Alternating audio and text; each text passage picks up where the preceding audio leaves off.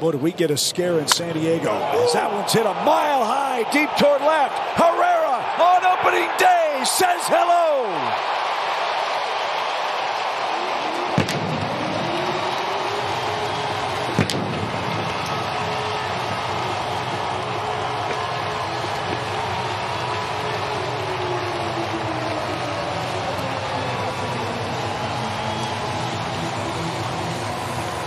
Big time juice and your first homer on opening day. And you know it, too. Look at this right here. He finished. This ball is crushed, and he just drops the bat.